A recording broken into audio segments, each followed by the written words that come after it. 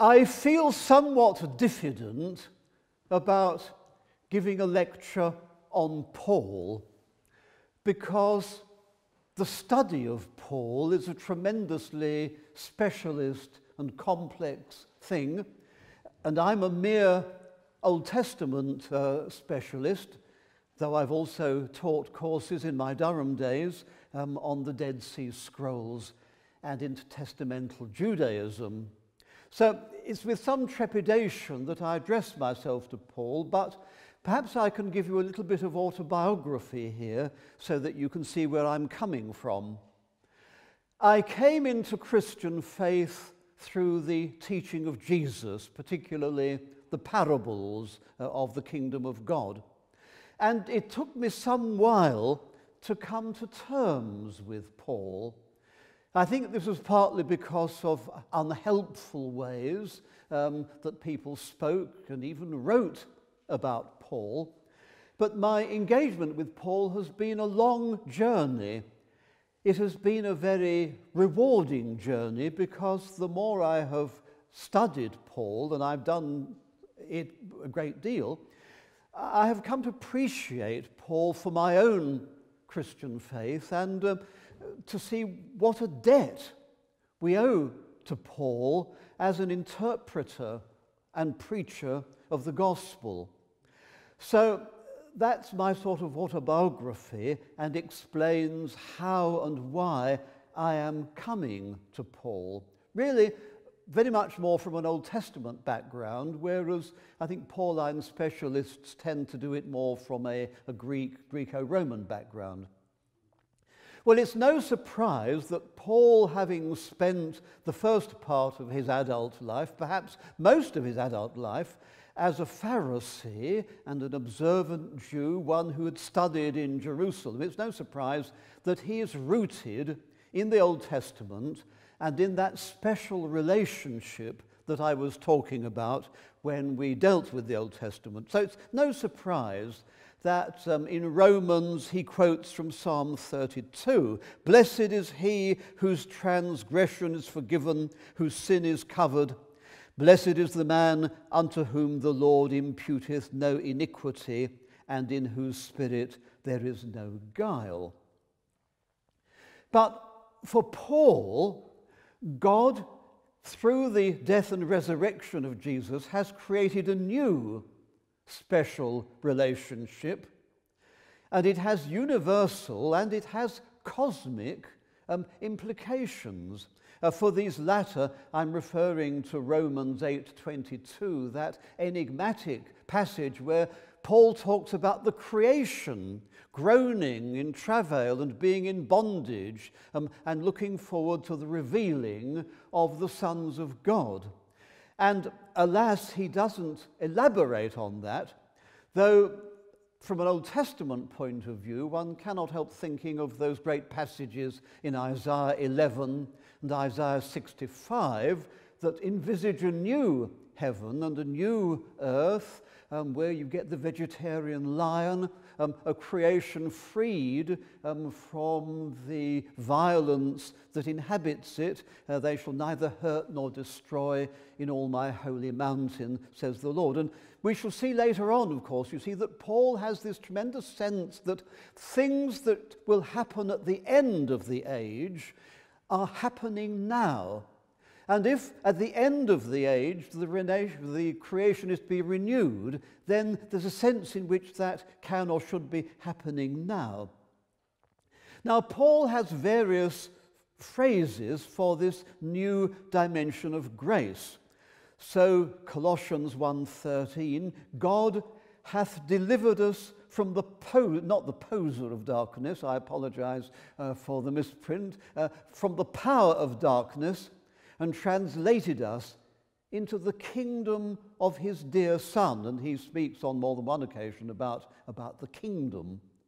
And then in Galatians, there is neither Jew nor Greek, there is neither bond nor free, there is neither male nor female, for ye are all one in Christ Jesus. And being in Christ Jesus is another of the phrases that he uses for this new special relationship that God has created.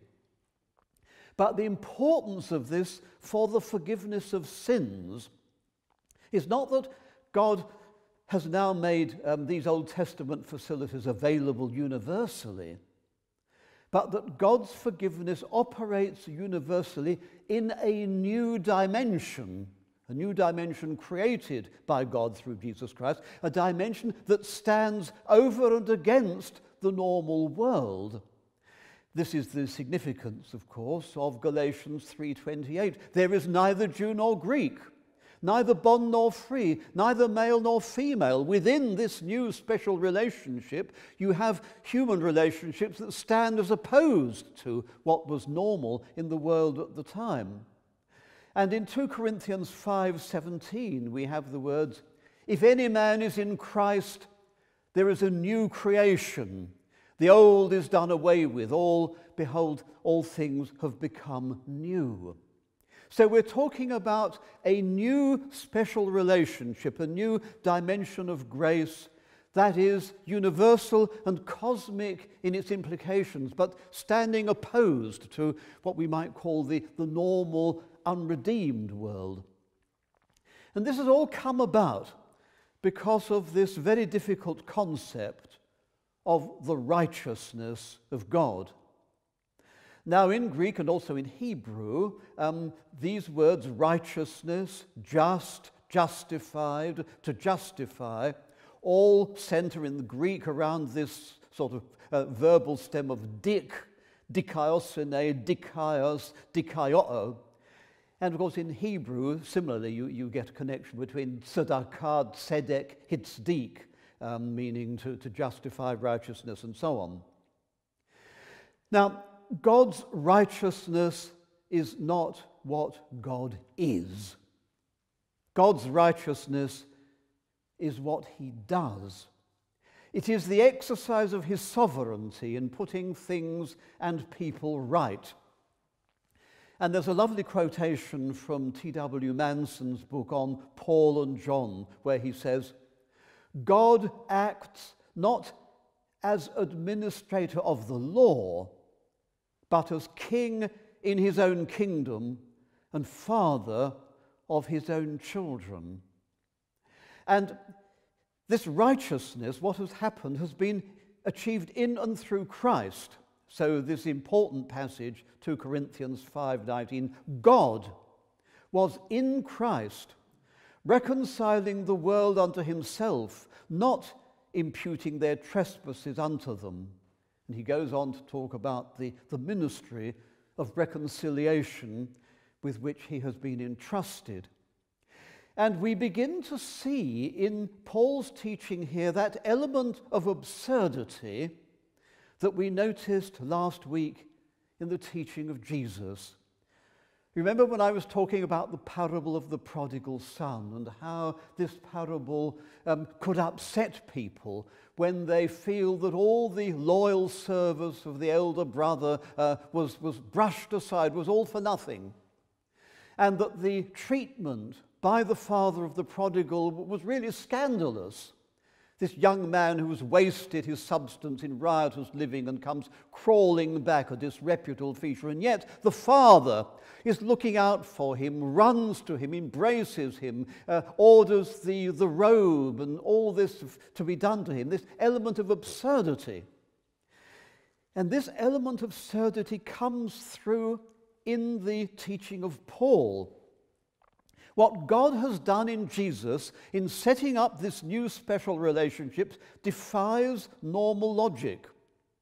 1 Corinthians 1:23 We preach Christ crucified unto the Jews a stumbling block and unto the Greeks foolishness but unto them that are called both Jews and Greeks Christ the power of God and the wisdom of God and when I say on the handout and see the continuation with an exclamation mark, we have the words there the wisdom of God is wiser than men.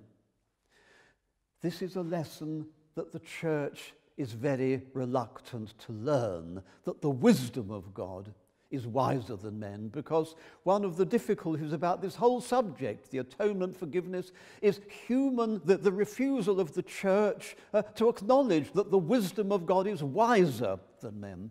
The desire of the church to hold God accountable to our ideas of justice and forgiveness and so on. So, say, see the continuation. The wisdom of God is wiser than men. We have to let God be done, be God.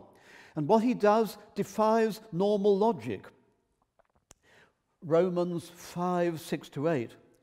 For when we were yet without strength, in due time Christ died for the ungodly. Scarcely for a righteous man will one die, yet peradventure for a good man some would even dare to die. But God commendeth his love toward us in that while we were yet sinners, Christ died for us. So we come to this phrase, justification by faith. What is it? And I would say that justification by faith is the discovery and acknowledgement by individuals that Christ died for the ungodly. That is, for them. And when I say compare Galatians 2.20, we have again a, a, a, verse I shall come back to later on, but he says, um, he, the life I now live in the faith, says Paul, I live in the faith of the Son of God who loved me and gave himself for me. That is a de- declaration, if you like, of justification by faith, the discovery that the Son of God loved me and gave himself for me, and the transforming effect that that realization and that discovery can have upon the life of individuals and communities. Now, Christ's death and resurrection have implications for law and the law. Paul does not believe in an immoral universe. He knows the good news um, of God um, coming uh, to judge the world. Um, and so, uh, I mean, um, we get in, um, in Psalm 98 um, the, the, the joyous acclamation. Let the sea roar and the fullness thereof, the world and they that dwell therein. Let the floods clap their hands. Let the hills be joyful together before the Lord, for he cometh to judge the earth. With righteousness shall he judge the world and the people with equity. Judgment is part of the good news, part of the good news because I don't want to live in a world where it doesn't matter whether you're Adolf Hitler or, or Mother Teresa, whatever uh, things you might um, say about Mother Teresa, try to say. I don't want to live in that sort of world, a world that is totally indifferent morally. And the idea that God will judge is good news. And Paul says that we must appear before the judgment seat of Christ. And Paul speaks of God's wrath in Romans 1:18. Now, of course, we hear this idea, the, the wrath of God is revealed. We say, oh dear, oh dear, this is the Old Testament God of wrath. We don't want that. Uh, we want the New Testament God of love. And yet, whether or not the word wrath or anger is appropriate, I would somehow feel let down if I thought that God was indifferent to the many things in the world that make me angry. I am angry at the way in which the wealth of this world is so unjustly distributed. I'm angry at the way in which we are devastating the created order with which we have been entrusted. I am angry that women and children are abused. And I don't have to go on. I'm sure you can add to the list and you can say, yes, we are angry, rightly angry about these things. We don't want to live in a world where these things are going to have the last word. And the assurance that we have of the Old Testament speaking of God coming to judge the world, of us having to appear uh, before the judgment seat of Christ, however we understand that, and Paul speaking about God's orge, his wrath, revealed against wickedness. All this is, is right. God's judgment against lawlessness in a world where men worshipped and served the creature more than the creator Romans 1 25. And law is necessary. We cannot have an ordered society without it, and our politicians are constantly talking about the rule of law. But we have to take one step beyond that. Law and the Jewish law have their limitations. And Paul should have been, I would have thought, aware um, of the teaching of uh, one of the great Jewish teachers, uh, Simeon the Just. Um, we don't know exactly who he was. He might have been the high priest round about 280, might have been a later descendant, perhaps around about 200. But in that most important document um, of Jewish ethics, the sayings of the fathers, the Pirkei Avot, we have this extremely important statement. Um, I'll read it in Hebrew and then you can have the English. Al sholosha devarim ha'olam omed, al ha'torah, al ha'avodah, va'al gumilut chasadim. On three things the world stands. There are three things of fundamental importance. The law or the Torah, worship, and a marvelous phrase, difficult to translate, uh, imparting of kindnesses. So, in addition to the law, you have worship. The importance of worship is that we ascribe the glory to God. We realize our littleness in relation to Him. And then the imparting of kindnesses is, covers that area of life where law cannot have any place at all those acts of generosity, of goodwill, um, visiting the sick, doing all those things that cannot be prescribed by law. And I think one of the things that has been so tragic in the recent history of our country is the way in which so many things teaching, the health service, these used to run on the imparting of kindnesses. People used to run classes after school, used to go and uh, you know, take, take people on school trips, um, you know, have child class. And then suddenly along come the politicians and say, no, we, you've got to have a contract. It's got to be regulated by law. And all of a sudden, those um, acts of kindness get, get snuffed out because if people are going to be treated as though they have got to be you know, stuck to the literal, then they will. And this sense of the imparting of kindnesses is a very important thing. And this is a very profound insight within the Judaism that Paul, I think, knew or, or should have known. But Paul then goes further, which is so interesting.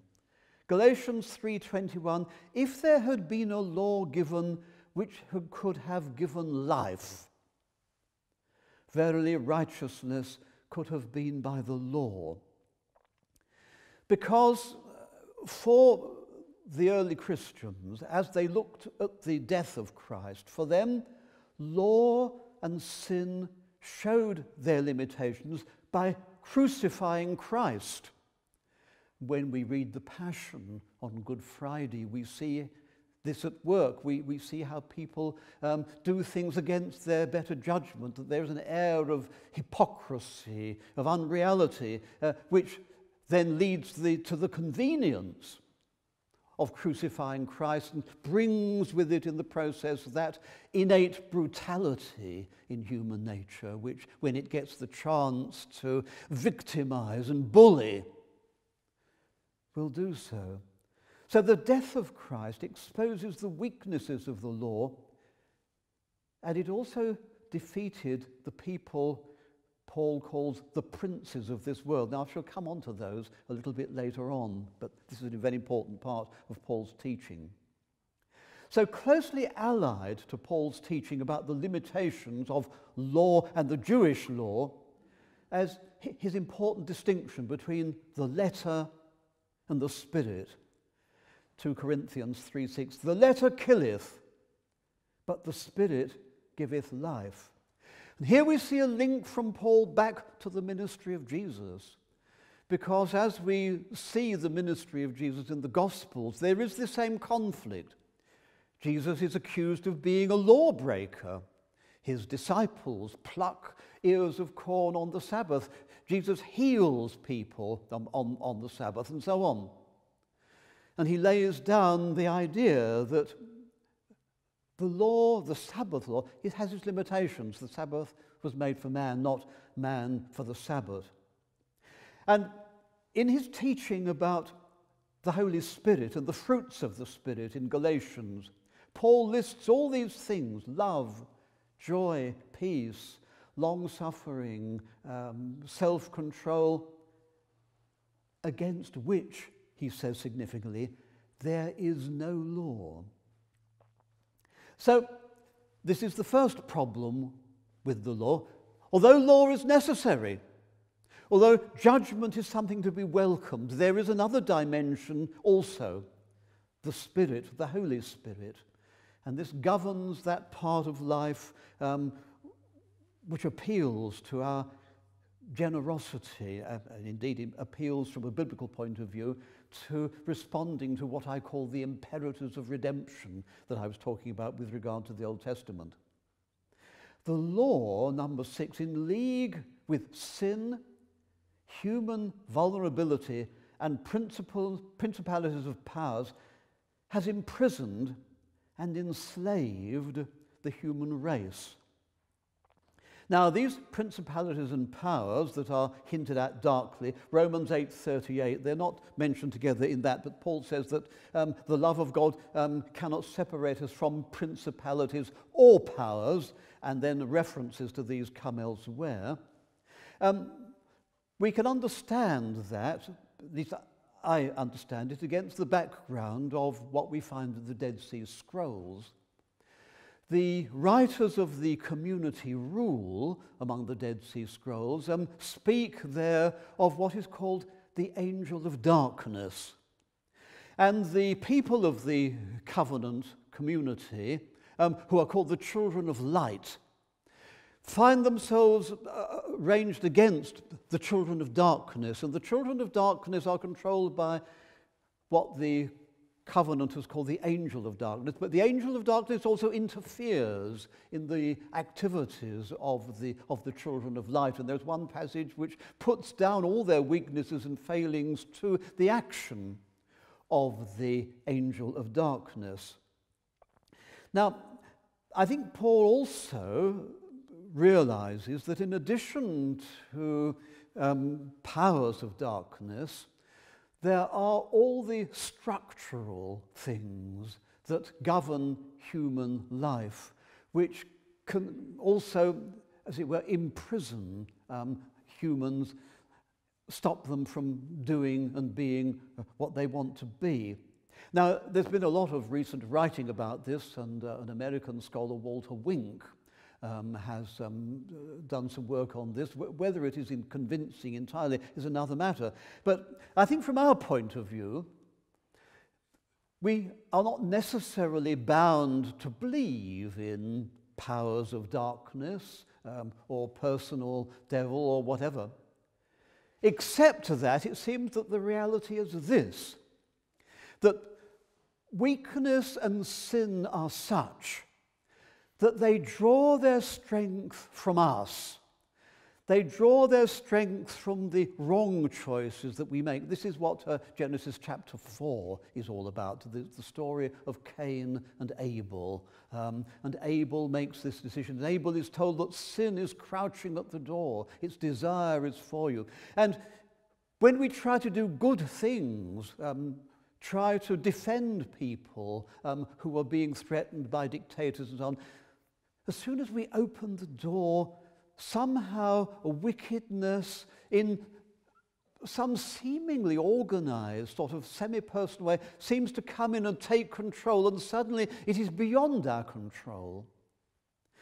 So the important thing is not so much how we think of it conceptually, but that we recognize the reality.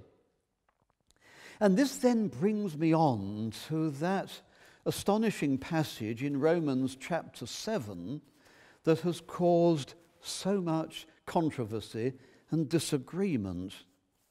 I'm referring here to Romans chapter 7, um, beginning from verse 18. For I know that in me, that is in my flesh, dwelleth no good thing. For to will is present with me, but how to perform that which is good I find not. For the good that I would I do not, but the evil which I would not that I do.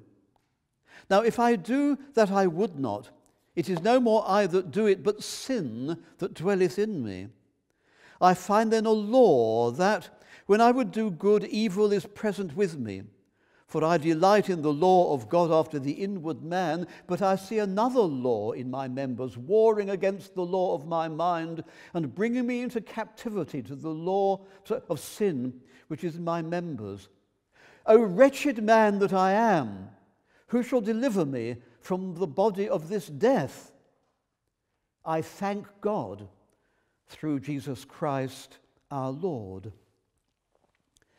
Now, this has generated an enormous amount of discussion, especially if it's seen simply personally. Is this Paul speaking before he became a Christian?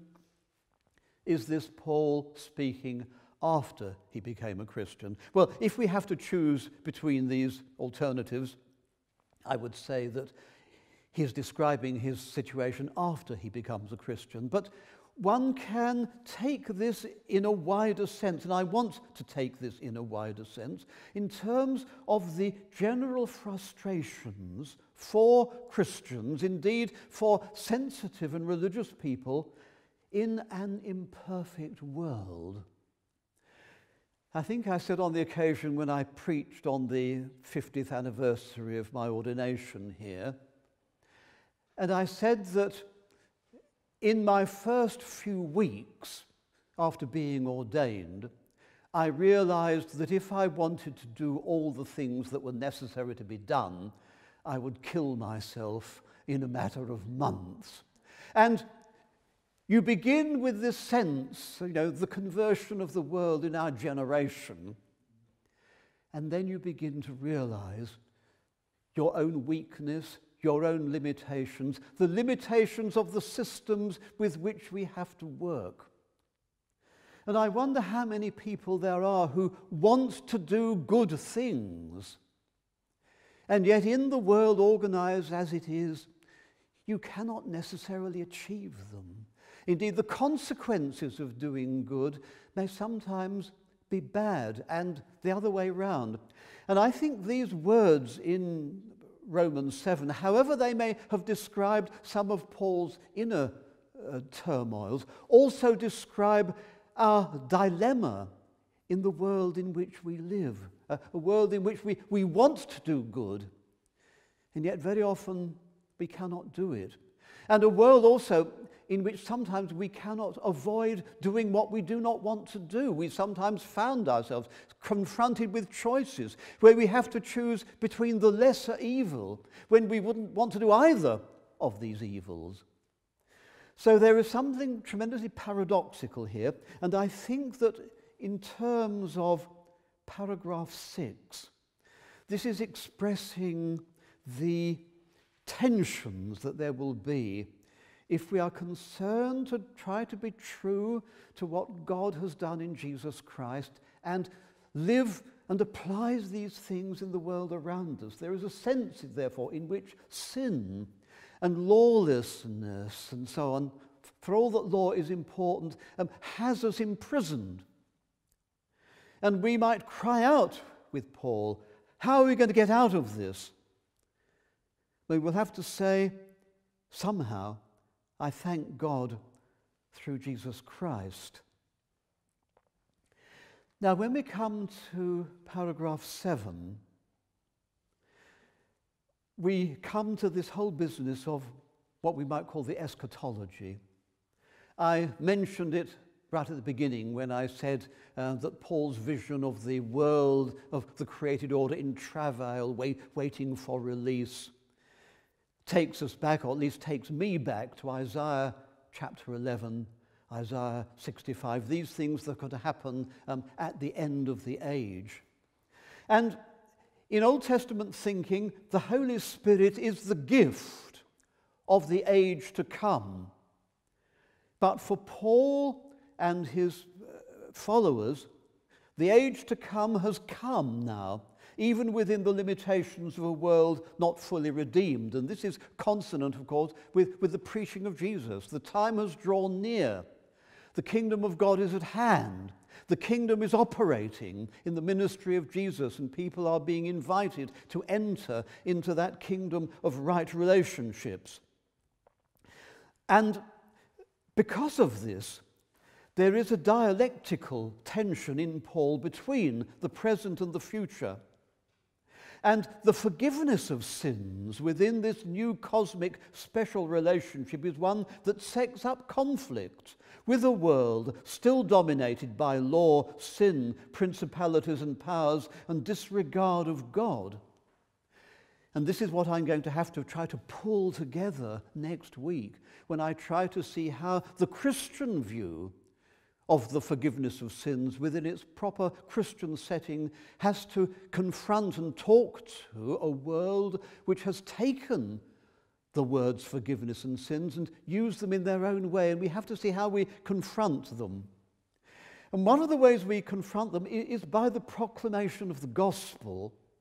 And the proclamation of the gospel is not an offer of success within the limitations of a world not fully redeemed. It is a challenge to the very foundations of that world.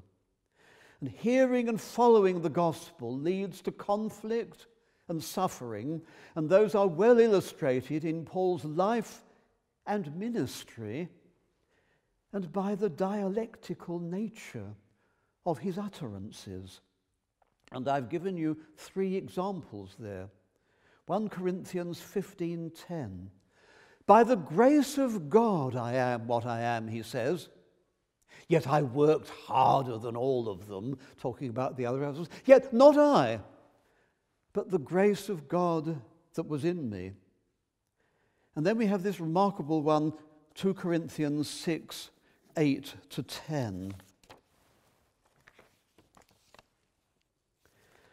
By honor and dishonor, by evil report and good report, as deceivers and yet true as unknown and yet well known, as dying, and behold, we live, as chastened and not killed, as sorrowful, yet always rejoicing, as poor, yet making many rich, as having nothing, and yet possessing all things. And then Galatians 2:20 I have been crucified with Christ. Nevertheless, I live. Yet not I live, but Christ lives in me. And the life I now live in the flesh, I live in the faith of the Son of God, who loved me and gave himself for me. So we're beginning to see, I hope, that in Paul, as I understand him, the forgiveness of sins operates within this new special dimension of grace which God has created through Jesus Christ, a dimension of grace that contains the spirit rather than the letter, the absurdity of a God who justifies the ungodly. And yet, it is this reality that has to confront the world, people to be invited into this reality, to see terms, life in terms of this reality. So we come to paragraph 8. Paul expected the imminent return of Jesus, as did the first generations of Christians. And as this parousia, this appearing expectation receded, Christian thought accommodated itself to a one dimensional, non eschatological view of reality, in which the church occupies the place of the special relationship and now provides a system of forgiveness designed mainly to ensure entry into the world to come. And I say that this was a betrayal of the teaching of Paul and Jesus is indicated by the various radical movements within Christianity that have arisen from time to time. Movements that have not been content with this idea that we live in a one dimensional world where somehow the gospel is, is fitted into the normal state of affairs.